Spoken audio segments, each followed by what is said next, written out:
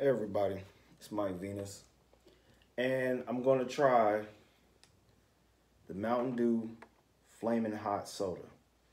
Now, I'm a millennial, right? If you're a millennial, you done you you've been with Flaming Hot products since probably five, five or six, right? And I done tried everything of the Flaming Hot product except the Ranch Doritos in my lifetime. I done tried the Crunchy Cheetos, the Puffs, one of my favorites. The fries is top three. Um, the skins, I don't eat pork anymore, but when I was younger, the skins. Um, the Munchums, they don't they don't make those anymore. The plain chips, the Ruffles, the Doritos, they need to bring those back. The lime, trash. And um, the Ruffles was trash. Munchums was trash. I tried the um the Funyuns, trash. Um and what's the it's the Doritos and the Fritos. I tried the Fritos, they were alright, too salty. So I'm gonna try the soda. Now, warning. Just letting you know. If this shit is trash, I'm about to go in on Frito-Lay and Mountain Dew. Because, you know, Mountain Dew been making a few exotic drinks recently. Some, okay, some, yeah, some. But this, this is just outrageous. So it's called Mountain Dew Flaming Hot Dew with a blast of heat and citrus. Flavor with other natural flavors. Okay. Right. So it has caffeine in it. I don't know. Oh, Jesus. Look at the sugar. 73 grams of sugar. Oh, yeah.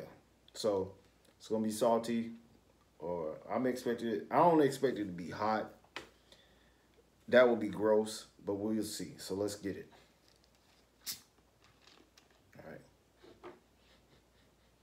It smells it smells like an orange soda. Yeah. All right, let's let's get it.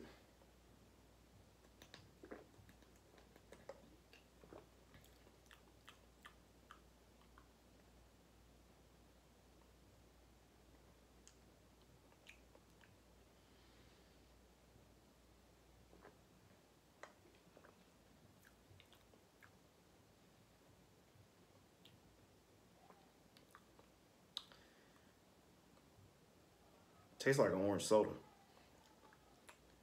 With like a little, oh, there it is. Wow.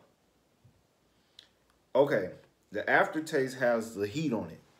it has a little heat, right? Because I seen some one person drink this on TikTok. They start choking. So it is a warning. It is some heat on the back end. Um, the initial flavor, it tastes like kind of like an orange soda, like a live wire set with a little. Ooh, damn! Even the burp is spicy.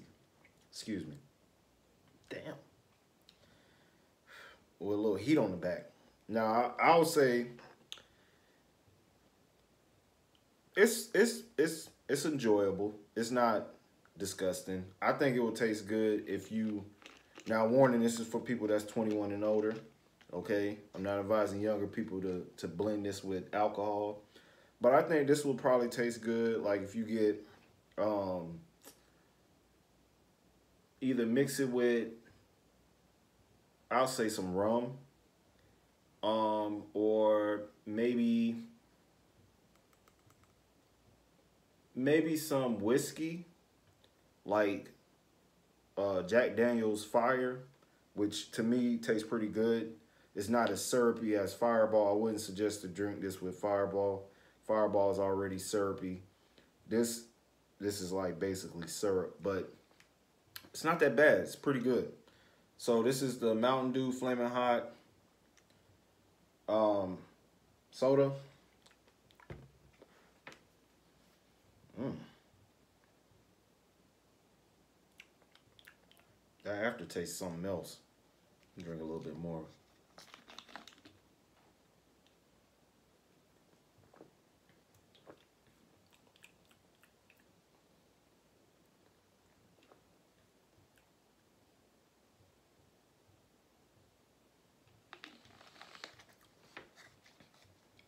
It's good. It's good. I'm picky. I don't drink anything. But out of the Mountain Dew recent ones, I give it a plus. It's pretty good. I don't know if they're gonna have it as like a continuous thing. Maybe more people have to drink it, but yeah, you know. But I like Flaming Hot. You know, you know if I want to feel the MSG brain heat melting action, I give me some Flaming Hots. So yeah, let me know if you're gonna try it. Um, for right now, I only see it as at as a 20 ounce. I would have got the can, you know, if it was a little bit smaller just for a taste test, but it's pretty good. I'll finish it. Um, will I drink it again? Probably. So yeah.